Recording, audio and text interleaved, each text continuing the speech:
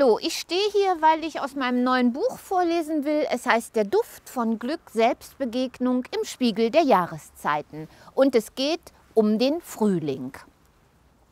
Womit wir auf unserem Spaziergang durch die Jahreszeiten beim Frühling wären, diesem Freudentanz der Natur, diesem kollektiven Rausch, bei dem jeder Baum und jede Hecke ein Strauß von Blüten ist. Und da wir ihn feiern, uns ergötzen wollen an seiner lebendigen Fülle, seiner unbändigen Kraft, verabreden wir uns mit einer seiner schönsten Botschafterinnen. Im luftigen, zartrosa Kleid kommt sie daher, leichten, heiteren Schrittes, eingehüllt in eine süß duftende Wolke. Wie gemalt sieht sie aus. In Japan wird das Ereignis dieser so besonderen Blüte als Hanami gefeiert, als Kirschblütenfest. Die Schönheit dieser Pracht ist sprichwörtlich, ihr mädchenhafter Zauber atemberaubend. Und deshalb gönnen wir uns das Vergnügen einer Begegnung. Schon von weitem zieht uns der Anblick der blühenden Bäume magisch an und kaum stehen wir in ihrem lichten Schatten, verneigen wir uns vor ihrer Schönheit und überlassen uns dem Wohlgeruch ihrer überschäumenden Fülle. Wie von selbst vergessen wir alles, was um uns herum ist, sind nichts als Augenblick, glückselige Gegenwart. Die Zeit scheint stillzustehen. Selbst unser Verstand ist hin und weg von dem Anblick der Millionen Blüten und schweigt. Wir sind reine Empfindung, inniges Gefühl.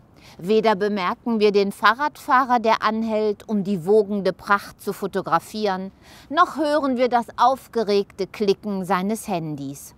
Und als wäre der Blick in diese so üppig blühenden Bäume nicht Glück genug, fährt ein sanfter Windhauch, ein leichter Atemzug nur in die Zweige, bewegt sie unmerklich und lässt dabei, wie in einem Anflug von Heiterkeit, Blütenblätter auf uns herabrieseln. Jede Menge Blütenblätter.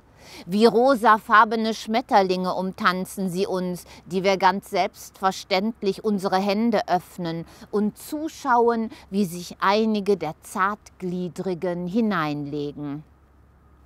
Die anderen flattern zu Boden und legen sich uns zu Füßen. Die Kirschblüte, berauschende, begeisternde Pracht, die uns Jahr für Jahr zum Verweilen, mehr noch zur meditativen Betrachtung einlädt. Lächelnd erinnert sie uns daran, die Schönheit der Natur, diese Quelle allen Lebens zu feiern. Da sie eine überaus flüchtige, kurzlebige Erscheinung ist, dürfen wir unser Rendezvous mit ihr nicht unnötig hinausschieben. Denn wenn wir zu lange zögern, weil wir immer noch etwas Wichtigeres zu erledigen haben, als ihr zu begegnen, dann könnte sie bei, bei unserer Ankunft bereits entschwunden sein, die Schöne, verblüht, verloschen. Chance verpasst, heißt es dann. Da sind auch die Erinnerungsschnappschüsse vom letzten Jahr kein Trost, denn nur das unmittelbare Erleben macht wahrhaft glücklich. Manchmal habe ich das Gefühl, dass wir die völlige Hingabe an das Gegenwärtige durch unser ständiges Fotografieren regelrecht verlernen. Letztens erzählte mir eine Klosterschwester, die in Rom gewesen war, dass sie niemals zuvor so viele klickende Handys wie in der Sixtinischen Kapelle gehört habe. Keiner der vielen Besucher habe den Anblick der bemalten Decken andächtig genossen, weil alle mit Fotografieren beschäftigt waren. Und das Erstaunliche daran hatte sie augenzwinkernd hinzugefügt, wenn man diese Leute später fragt, wie ihnen die Deckengemälde von Michelangelo denn eigentlich gefallen haben, dann sagen sie, ach, die Fotos von Rom, die habe ich mir noch gar nicht angeschaut. Das Schöne an der Kirschblüte also, dass sie ihren tiefen Zauber nur im Genuss des Augenblicks entfaltet. Natürlich haben wir die Möglichkeit, uns im wahrsten Sinne des Wortes ein Bild von ihrer allzu vergänglichen Pracht zu machen, können sie fotografieren, malen, filmen, was auch immer. Trotzdem können wir sie nicht festhalten, nicht besitzen. Wir können sie nur erleben, erfühlen, mit allen Sinnen verkosten. Und das auch nur, wann es ihr gefällt. Denn sie lässt sich nicht planen, nicht einspannen, nicht festlegen und schon gar nicht in unseren Terminkalender eintragen.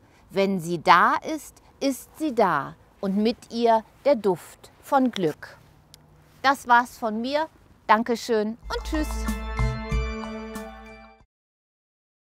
In Japan wird das Ereignis dieser so besonderen Blüte als Hanami gefeiert, als